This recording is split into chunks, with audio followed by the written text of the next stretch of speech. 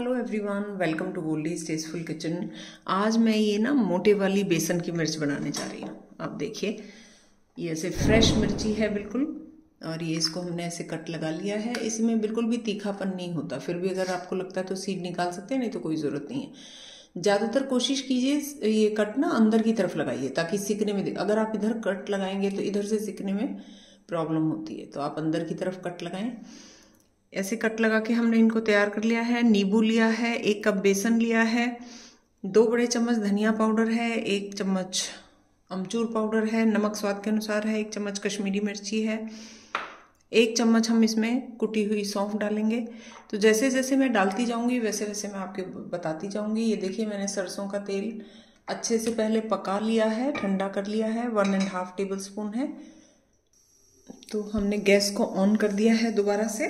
और अब हम इसमें ना ये बेसन डाल देंगे एक कप। और इसको बिल्कुल धीमी आँच पे ना लगातार चलाते हुए पकाएँगे। तो ये देखिए, बेसन जो है हल्का हल्का भुनना शुरू हो गया है। बिल्कुल धीमी आँच पे आप इसको रोस्ट करेंगे और बेसन ना पहले छान लेंगे। इस चीज़ का ज़रूर ध्यान रखें, क्योंकि नहीं तो गांठें होती हैं उसमें। अब हमने इसमें एक चम्मच जीरा और आधा चम्मच हल्दी और ऐड की है। एक चम्मच कच्चा जीरा पाउडर और आधा चम्मच हल्दी। ये सारे मसाले भी हम इसमें डाल देंगे। और ये है सौंफ पाउडर। इसको भी मैं इसमें डाल दूँगी। ये दरदरा कुटा हुआ है। इसका फ्लेवर बहुत अच्छा आता है। तो आप ज़रूर इस तरीके से मिर्ची बनाइए। और वन फोर टी स्पून के करीब ना मैं इसमें हींग डाल रही हूँ।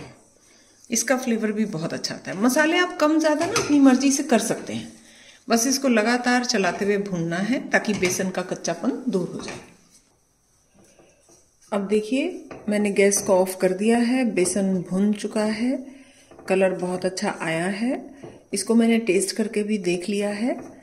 नमक इसमें परफेक्ट है। और इसको हम जल्दी से ना एक प्लेट में खाली कर लेंगे। ताकि जो है ये ठंडा हो जाए, भरने में आसानी रहे। इससे पहले मैं वन फोर टी स्पून गर्म मसाला डालूँगी और नींबू का रस डालूँगी। अमचूर हमने डाला है, बट नींबू के रस का भी एक अलग ही फ्लेवर आता है।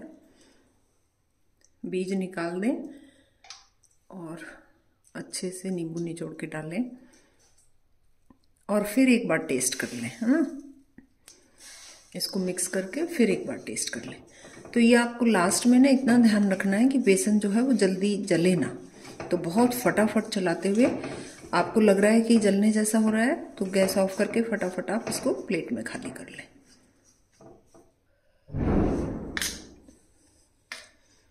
ये बेसन लेके अब हम एक एक मिर्च में अच्छे से ऐसे भर लेंगे। बहुत ज़्यादा भी नहीं होना चाहिए और बहुत कम भी नहीं होना चाहिए।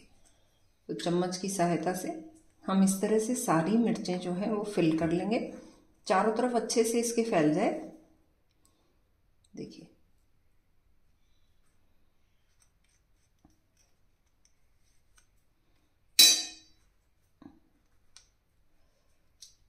नीचे तक आ जाए टेस्ट क्योंकि अगर नीचे छोड़ देंगे ना तो फिर उतनी मिर्च फीकी लगेगी। तो ये नीचे तक देखिए, कुछ इस तरह से हम भर कर सारी मिर्ची तैयार कर लेंगे। देख रहे हैं ना, मसाला इस तरह से आ रहा है। ये देखिए, दस मिर्च हमने इस तरह से भर के तैयार कर ली है।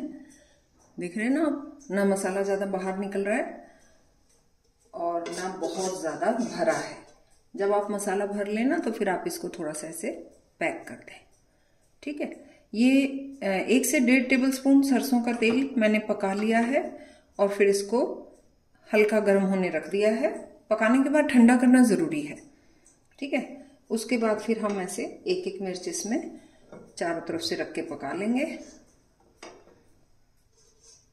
अगर आपको मेरी रेसिपी पसंद आती है तो प्लीज़ लाइक कीजिए, सब्सक्राइब कीजिए, शेयर कीजिए with your family and friends bell icon ज़रूर प्रेस कीजिए ताकि मेरी लेटेस्ट अपडेट्स आप तक पहुँच सकें। तो पहले हम थोड़ा सा इतनी पकाएँगे जितनी इसमें आ रही हैं।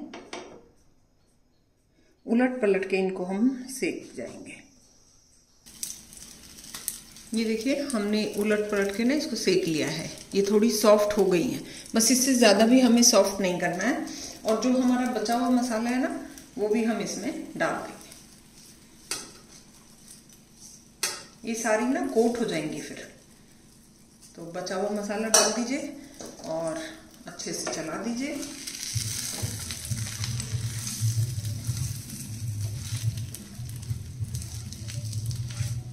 लग रही है ना बढ़िया? तो ये बाहर से भी ना अच्छे से कोट हो जाएँगे। तो इसमें मिर्ची का टेस्ट अलग ही आएगा जब आप ये देखेंगे ना, ऐसे कोट होने के बाद। बारीक की मसाले हैं, सौंफ की खुशबू है, बहुत ही अच्छे से ये बनकर तैयार रहेगी तो एक मिनट के लिए मैं इसको ढक के पकाती हूँ। फिर आपसे मिलते हैं। तो आइए चेक कर लेते हैं। ये देखिए बहुत अच्छी ये मिर्च बनकर तैयार है। कोट हो गई हैं ऊपर से अच्छे से। और ये देखिए ये देखिए। तो अब हम इनकी करते हैं प्लेटिंग और ये देखिए, हमारी यमी सी मसाला मिर्ची बनकर तैयार है। ज़रूर ट्राई कीजिएगा। Thank you so much for watching my videos